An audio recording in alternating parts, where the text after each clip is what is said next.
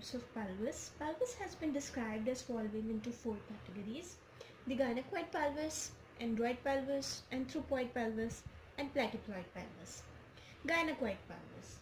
This is the best type of pelvis for childbearing as it has round brim, straight side walls, ischial spines are not blunt, and subpubic angle of 90 degree.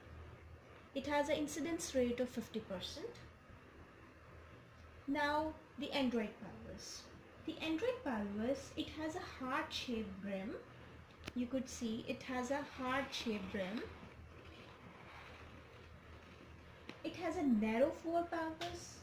The side walls are convergent. Ischial spines are prominent here. The sciatic notch are narrow and the subpubic angle is less than 90 degree. It has an incidence rate of 20%. Anthropoid pelvis. Anthropoid pelvis has a long oval brim. The floor pelvis is narrowed. Side walls are divergent. Ischial spines are blunt. The sciatic notch is wide. The subpubic angle is greater than 90 degree. It has an incidence rate of 25%. Next is platypelloid pelvis. It has a kidney shaped brim. This is kidney shaped. It has a kidney shaped brim.